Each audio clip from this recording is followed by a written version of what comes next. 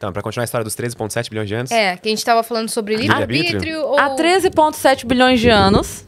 vocês estão preparadas pra essa conversa? Então, então tá. Não, mas vamos lá. Mas esse que é o legal, sabe? Porque, na verdade, isso é uma Na- conversa que não tem, tipo, resposta certa. A gente vai ter literalmente uma conversa. Sim. Então, a 13,7... Não, deixa eu até me sentar. certo. Como se você estivesse gravando um vídeo, né? Há 13,7 bilhões de anos, o universo começou.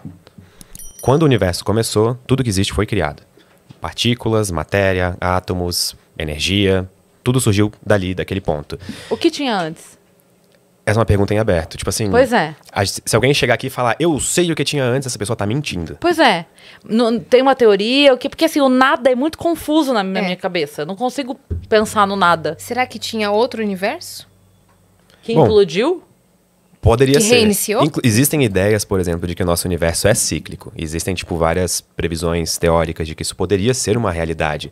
Só que elas são previsões teóricas, assim, a gente não tem como, tipo, chegar e dizer, tipo, ah, então realmente o universo tá ali e é isso aí, tava antes. Não, sabe? Porque tem um problema muito sério que é, quando a gente chega no Big Bang, todo mundo acha que o Big Bang é, tipo, a teoria de como o universo surgiu. Não. O Big Bang, ele explica, ele é um modelo de evolução do cosmos. Ele explica o universo de, tipo, ele vai regredindo, digamos, desde onde ele é hoje até como ele era logo depois de iniciar, a 10 menos 40, 10 elevado a menos 43 segundos. Isso é um 0,4301 segundo atrás. E, bom, nessa época, atrás dali a gente tem um problema muito sério que a gente não sabe como várias das forças físicas funcionavam. Eu tenho limitações sérias de conseguir pensar duas coisas. O nada. Pensar o nada pra mim é, é muito doido, sabe? Tipo assim, ah, esvaziamente. Eu não, não penso em nada. Não dá. Você já tá pensando nada, em algo que é nada. Tentando pensar em nada, você já tá pensando é, porque no daí o nada. nada é vazio, mas é, vazio, daí eu penso, mas vazio é o quê? Vazio é oco, vazio é sem ar, vazio é. Já, já foi. Mas já se for não parar pra pensar, o nada e o vazio não são a mesma coisa. É muito O doido. que, que é o nada? É, Existem filósofos que estudam a carreira inteira só pra responder essa pergunta. Eu não vou saber responder. E a outra coisa que eu tenho uma séria Droga, dificuldade. Sky. Essa ele não vai conseguir resolver. A outra coisa que eu tenho uma séria dificuldade pra pensar é tipo assim, universo infinito. Porque infi- infinito, sabe? Tipo assim, o, o não tem fim na minha cabeça é não cabe, não consigo. E aí se eu penso, tá, então eu vou pensar que tem fim, tá? Pra eu ficar mais tranquila, eu vou pensar que tem fim. OK, tem fim. E depois? Mas aí a gente tá falando... Que que Acaba onde? do fim? Acaba numa parede? Então, vamos, Acaba vamos no- supor que tu tá falando, tipo, infinito, eu imagino em extensão territorial, digamos. Infinito, sei lá, o volume do universo, que pode ser também, tipo, tempo infinito. Então, só pra clarear qual infinito a gente tá falando, extensão. É, é extensão. Por exemplo, a gente não tem como saber se o universo é infinito pós a barreira do universo observável. Porque desde que o universo começou, a luz das. Pra gente ver alguma coisa no céu, a luz dessa coisa tem que chegar na gente. É. E as coisas, a luz está vindo desde 13,7 bilhões de anos atrás. Então, às vezes a gente consegue, tipo, ver obje- objetos extremamente distantes e a gente vê eles como eles eram, sei lá, há 12 bilhões de anos. A gente literalmente vê o passado, porque a luz ainda está chegando até a gente. E quando a gente, tipo, calcula o raio do universo observável, levando em conta todas as distâncias que a luz demorou para chegar até a gente e tudo mais, a gente chega, tipo assim, se eu não me engano, é 93 bilhões de anos-luz de diâmetro. Nossa. É uma coisa muito grande, tipo uma esfera com esse raio. Esse é o diâmetro do universo observável. Só que a gente não tem como dizer, por exemplo, se ali acaba o universo, sabe? Porque para cada ponto do universo existe um universo observável.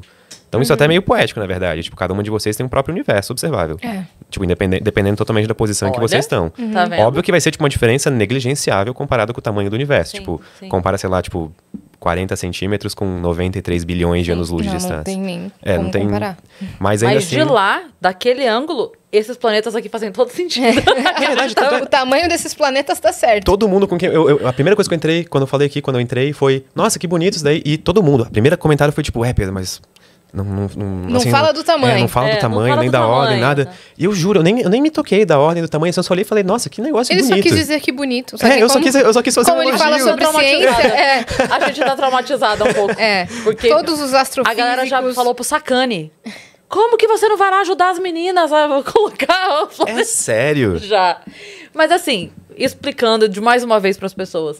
É, eles foram feitos, assim, como objetos de decoração, não, não pretendiam seguir uma ordem. A gente já, é, já conversou com o Sacani e ele falou: ó, esse tinha que ser aquele para ser, pra ser o correto, né? A gente o chamou, não, ele, não que ele tenha vindo. A gente o chamou e ele falou: ah, esse seria assim, assim, assado e tal. Mas, como você bem disse, se fosse do jeito certo, não seria tão legal. É. Ah, o- Exatamente. As cores. Licença A poética é ama, uma coisa necessária, sabe? Tipo, eu acho isso bastante interessante, principalmente como eu trabalho com vídeos de ciência, que muitas vezes, para fazer, por exemplo, animações nos vídeos. Meus vídeos estão cheios de animações, que eu, eu, eu gosto muito de usar esse recurso visual para explicar coisa complexa. E às vezes, tipo, se eu vou fazer uma animação que mostra o sistema solar, se eu fizer em tamanho real, ferrou. Tipo, ninguém Uhum. vai entender o que tá acontecendo. A Terra vai ser um pixel, o Sol vai ser quase metade falar, da tela. A Terra, e vão falar, cadê a Terra? Exa- É. Todo mundo vai ficar tipo, peraí, cadê a Terra? É. Então, licenças poéticas são Pra necessárias. Na vida né? toda. Eu acho o pessoal, Imagens assim, meramente vezes... ilustrativas. É, mas eu acho que às vezes não precisa nem desse aviso, sabe? Tipo assim, tá claro que aquele não é o sistema solar na vida real. Então, mas as pessoas às vezes ainda assim reclamam. Então Sim, é. é. Tem aquele eu imagino desenho que do- foram chatos com. Tem aquele desenho do, da proporção, né? Do círculo, não sei o quê, não sei o quê, não sei o quê, e a Terra. E daí você fala, meu Deus Hum. Céu, é muito As proporções espaciais são coisas assustadoras. Por exemplo, se isso fosse em tamanho real, Júpiter tem uma mancha vermelha ali em cima. Ela- o certo seria ela, ela tá para baixo, mas tá ali em cima, licença poética, vamos lá. É, a Terra teria mais ou menos um terço do tamanho daquela mancha vermelha em Júpiter, que é uma tempestade que já existe desde os anos 1600. Então, proporcionalmente, tempestade. é, uma, é tipo literalmente um grande furacão em Júpiter. Que é a Tá gran- lá. Tá lá, desde 1600, que foi quando ele foi. Acho que é 1600 ou 1400 a primeira observação dele com o telescópio. Que antes a gente também. Haja não- vento, né? Então, desde 1600. A primeira observação tá lá e mais ou menos três terras de tamanho Uhum. tem essa grande mancha vermelha de Júpiter. E tá lá, acontecendo. E nós estamos aqui, de boa, falando, nossa, que friozinho em São Paulo hoje, né? e É, então, E as vaquinhas voando se lá. fosse, pra, se fosse pra fazer proporcional de verdade, não dava. Então assim tá ali. Não cabia aqui no estúdio. É, É. não dava, ia ficar muito esquisito. aceitem licenças poéticas, elas são Exato. importantes. Mas o que, que você ia falar sobre o, sobre o surgimento do, do universo com o livre-arbítrio e Então, Boa. destino? Vamos lá. Voltando, o universo surgiu e junto com o universo surgiram as coisas que a gente conhece como leis da física. E desde que a gente começou a estudar as leis da física mais a fundo, principalmente quando Newton surgiu e ele inventou, tipo, cinemática, que é... Vocês lembram das leis de Newton? É, tipo, aquelas questões de, tipo, tem dois bloquinhos numa rampa, tal ponto de equilíbrio ou não. Tipo, essas coisas assim, é tudo É, de cinemático, escola, né? é, é, física. é tudo cinemático, tudo que Newton fez lá nas antigas. E a gente entende que várias das áreas da física, praticamente quase todas, têm um negócio chamado determinismo. Então, parece que assim, ó, se eu tenho as mesmas condições iniciais em um problema, eu sempre vou ter o mesmo resultado. Porque faz sentido, na verdade, as equações não mudam. F igual a MA. Não tem nada mudando na equação. Se F é o mesmo, M é o mesmo, A vai ser o mesmo, sempre. Então, se eu boto F e M, meu resultado vai ser sempre o mesmo. Só que o determinismo tem, tipo, um negócio meio filosófico, assim, porque se as coisas são determinísticas, tipo, as leis da física são determinísticas, então tudo meio que já estava determinado desde lá atrás no Big Bang. Porque se eu conseguir calcular cada interação entre cada partícula diferente desde que o universo surgiu, eu consigo mais ou menos chegar, quer dizer, eu mais ou menos não, eu consigo chegar até onde nós estamos hoje. Eu consigo mais ou menos prever que a gente está aqui conversando, o que eu ia falar, o que eu ia dizer, o que eu ia pensar, que a gente ia tirar o elefante da sala, e tá tudo isso, tipo, elencado, sabe? Só Daria aí- simular isso. Exato. Dá- Não, totalmente. Tu poderia recriar o nosso universo tendo essas condições iniciais. Com uma inteligência artificial? Não. Assim, se tivesse uma inteligência artificial muito poderosa, talvez. Eu, eu acho que talvez a gente consiga um dia simular algo parecido. Vocês estão simulando buracos negros? Né, Exato. Roberta? Roberta, É. é, é, ela trabalha com isso. Segura as inteligências artificiais, por favor. Não, não, não faz a gente arranjar problema antes da hora aqui com inteligência Ah, já estamos arranjando, né? já vamos arranjar, com certeza. E aí, Elon eu, Musk, bom, ele tá com aquela empresa Neuralink, né? Então, Uhum. isso temos que ficar ligados pro futuro. é. Ah, vai dar tudo certo. vai dar tudo A gente vai certo. sobreviver. Ah, vai. É só tratar bem o micro-ondas. É. É, tipo, não, não xingue Pede, por favor. Não sei Você se o planeta- pra mim, por favor? É, Alexa, por favor, não sei o que, sempre fala assim, então... Não sei se o planeta quer que a gente sobreviva, né? Ah, eu acho que ele não tem muita vontade não, né? É. Eu acho que ele é meio inanimado, assim, né? Se a Terra quisesse falar com a gente, eu acho que ela já teria xingado a gente há tanto tempo. Já teria dilúvio. Ou ela só não se importa, sabe? Eu acho que é só... Tipo, se a Terra falasse, ela só não ia se importar. Porque Será? A gente é muito pequeno.